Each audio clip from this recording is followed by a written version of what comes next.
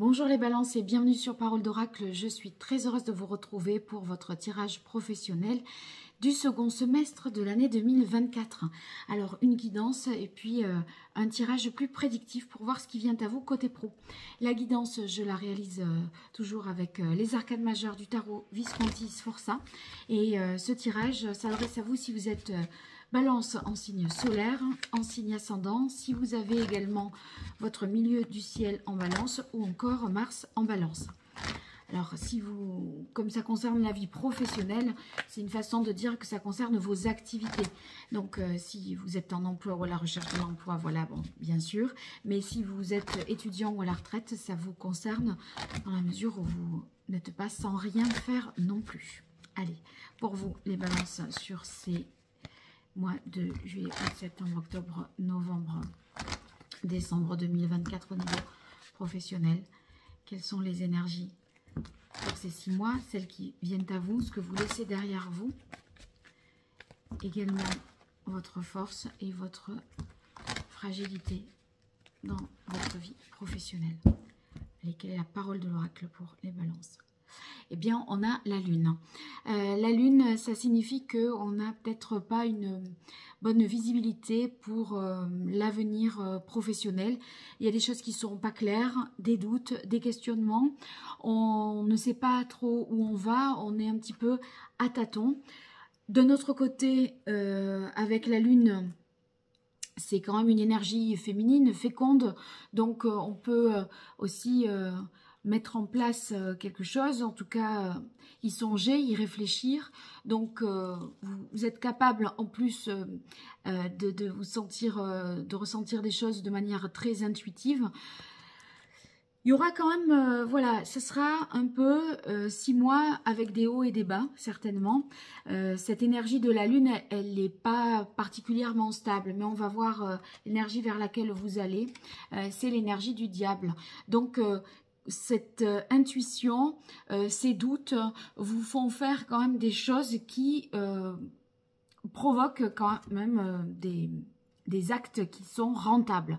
Donc, vous allez investir peut-être ou être très créatif et il y a l'idée que ça rapporte, ça porte ses fruits.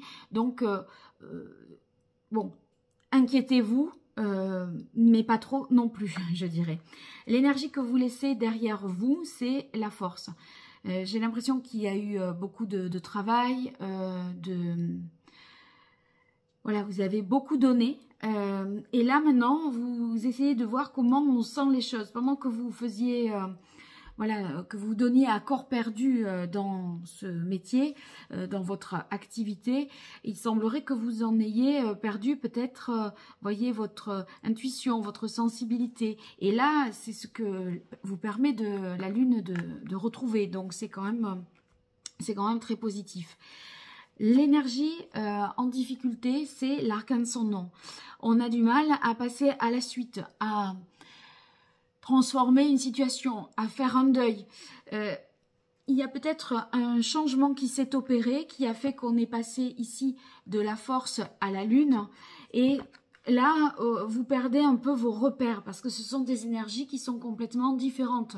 Donc, euh, on, on, est dans l'incertitude, il peut y avoir des doutes du fait que ce changement, vous avez peut-être du mal à vous y faire. Alors, ici dans euh, votre force, euh, c'est la papesse.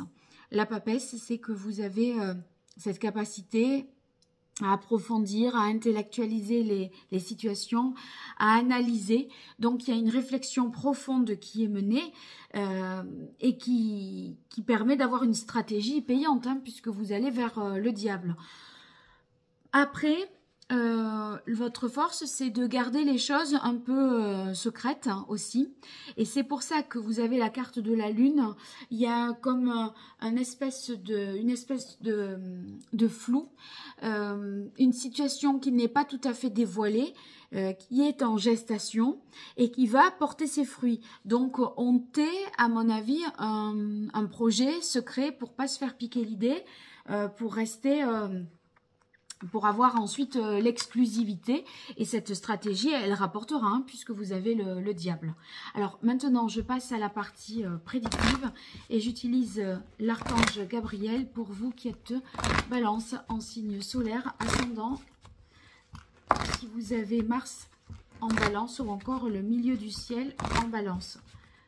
Pour les six prochains mois, on va voir ce qui vient à vous, côté pro, que vous soyez en emploi, à la recherche d'un emploi, tout simplement par rapport à vos investissements, à vos activités, pour vous, les balances.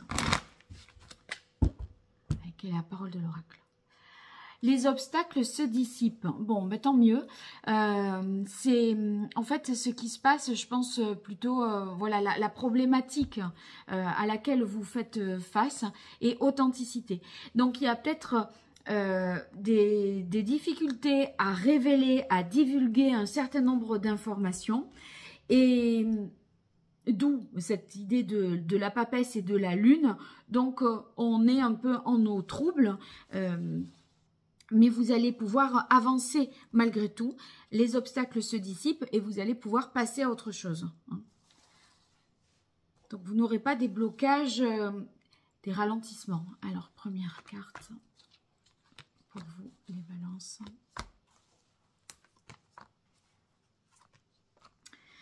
Voilà. Alors, bien sûr, si vous souhaitez me consulter, je réalise des consultations privées. J'ai un site internet www.paroledoracle.fr. Vous pourrez euh, voir euh, les différentes prestations que je propose et euh, me contacter par ce biais-là. Alors, on continue. Expression créative. Je vous disais, hein, cette lune, elle vous donne un sens très créatif, elle est féconde. Il y a euh, beaucoup de ressenti, de sensibilité. Et euh, si vous êtes dans un métier en rapport avec euh, la créativité, eh bien la créativité est vraiment décuplée. Donc vous avez ça pour, pour vous et comme force. Oh, on a la carte court. C'est marrant parce que cette, cette papesse, elle étudie, elle analyse, elle approfondit des sujets, des objets d'étude et et c'est pas étonnant, euh, vous avez la carte court. Donc, euh, vous avez une grande capacité à absorber les connaissances, à vous approprier des connaissances. Il y a un apprentissage qui, euh, que vous suivez peut-être hein, et que vous arrivez bien à assimiler. Donc, c'est positif. Et un nouveau projet. Il y a de la nouveauté et une difficulté quand même à lâcher l'ancien. Bon, je pense que vous y arriverez à lâcher l'ancien parce que vous allez sentir que vous êtes sur la bonne voie, vous avez des bonnes, euh, des bonnes intuitions, des bonnes euh, perceptions. Et ce nouveau projet, ben, rien de mieux que la carte de la prospérité puisque euh, finalement, et, ça vous apporte des gains financiers, une abondance, donc ça vous nourrit intérieurement également. Vous faites ça avec beaucoup de de goût, d'intérêt et c'est très positif pour vous. Et enfin, faites partager votre art. Euh, donc, euh, je pense que ces gains-là euh, que vous avez, que vous allez engranger, ces gains en expérience, en compétences ou financiers, vous allez ensuite les faire partager pour permettre encore de... Enfin, cette transmission va vous permettre d'aller encore plus loin. Alors, je poursuis avec un ancien tarot italien pour vous qui êtes balance en signe solaire, balance en signe ascendant si vous avez Mars en balance ou le milieu du ciel en balance.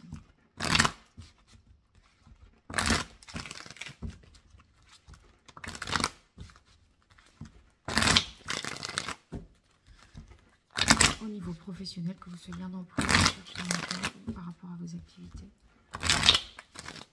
Encore une fois. Allez, là c'est bon. Quelle la parole de l'oracle? On a le 3 de denier. Le 3 de denier nous parle de collaboration, euh, de créativité, de communication.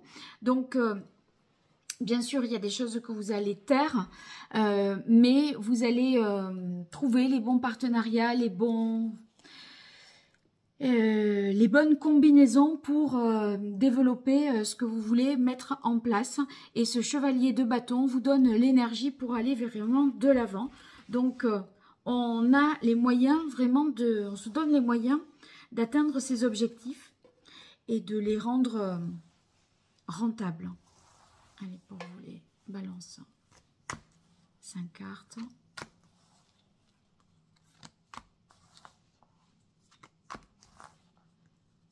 Voilà. Alors ici, nous avons le 4 d'épée. Je pense que dans la première partie, les deux premiers mois, euh, peut-être euh, c'était juin, euh, juillet ou juillet-août, on est un peu bloqué et c'est, on n'y voit pas très clair. On n'arrive pas à, à passer à l'étape d'après en termes de pensée. Il y, a, certainement un blocage lié au fait que vous passez de la force à la lune, donc des énergies complètement différentes. Vous n'êtes pas dans votre à votre aise et une difficulté aussi à transformer les choses. Donc le 4, on est un peu sur un, statu quo, quelque chose qui euh, est un peu bloqué, qui n'avance pas. On voit néanmoins que euh, c'est ce qui est euh, en termes de cours, donc d'apprentissage, ce que vous engrangez, ça vous permet cet as de coupe. Donc l'énergie d'un as, c'est toujours l'énergie d'un nouveau départ, de quelque chose qui s'amorce, qui se déclenche. Peut-être que par des connaissances supplémentaires, vous allez pouvoir euh, avoir une compréhension nouvelle et vous dire mais oui, je peux initier les choses de cette manière-là, je n'y avais pas pensé. Euh, les, choses s'éclairent et se précisent et vraiment ça vous réjouit et ça vous euh, met en joie. Donc c'est très positif. Nous avons ensuite ce 8 de, coupe. Avec le 8 de coupe, on doit analyser une situation, euh, essayer peut-être de, comprendre un peu mieux, euh, besoin de prendre du recul. Il y a une voie à choisir et à exploiter et en fait, dans cette possibilité, vous voyez, vous allez euh, passer de l'As au 8. Donc, on fait un grand bond en avant parce qu'une fois qu'on a compris, on avait déjà, je pense, les, ressources pour, euh, pour avancer. Mais à un moment, on stationne un peu. Je pense que c'est vous voyez, quand je vous disais avec la Lune, il risque d'y avoir des hauts et des bas sur cette euh, période. c'est plutôt des avancées et des ralentissements à des moments vous faites des progrès, vous, êtes sur une bonne, euh, dans une bonne direction, hein, vous perdez pas le cap, ça c'est pas le problème. Et, à un moment, euh, il y a une situation bloquante et donc euh, ça vous demande de, réfléchir, de cogiter, de trouver des, solutions, de faire des bilans de mi à mi-chemin, à mi-parcours. Ensuite, on a ici le 9 de denier. Le 9 de denier, vous avez vraiment, sous la prospérité en plus, euh, les moyens d'être totalement indépendant, euh, donc autonome financièrement. En tout cas, vous vous donnez les moyens de votre autonomie. C'est même pas dit que vous dépendiez d'une banque. vous voyez, il y a, y a une, idée d'accomplissement de, de, nouveaux... Ouais, de, voir aboutir vraiment ce, nouveau projet. c'est vous avez l'ambition et cette ambition euh, porte ses fruits. Donc, euh, on a des, retombées euh, positives. Et on termine avec le 3 de bâton qui tombe sous « Faites partager votre art ». Donc, vous voyez, ce 3 de bâton, ça vous montre que une fois la fin de l'année atteinte, on est on s'arrête pas là. En fait, euh, on a acquis et appris. Et là, on est sur déjà des, avancées, des perspectives euh, nouvelles. Donc, euh, on se projette déjà dans l'étape d'après avec le, cumul des, connaissances, des compétences ou des moyens financiers qu'on a, qu'on a capitalisés, de ce qui est voilà, à votre actif là et qui va vous permettre de, créer, de concrétiser quelque chose d'autre encore. Il y a une bonne coopération, une bonne harmonie. Euh, c'est vrai que vous aviez eu le, le 3 de denier à la coupe. Et hum, on voit que les personnes avec lesquelles vous vous entourez, euh, eh bien, euh, ce sont avec elle que vous poursuivez, on va dire, cette aventure professionnelle. Donc, c'est très positif pour vous, les balances. J'espère avoir de vos retours, vous avoir été utile. N'hésitez pas à commenter pour me donner de vos nouvelles. Et puis, si vous likez et que vous vous abonnez, vous me soutenez et j'en ai bien besoin. Donc, merci de le faire. À très bientôt sur Parole d'Oracle. Au revoir.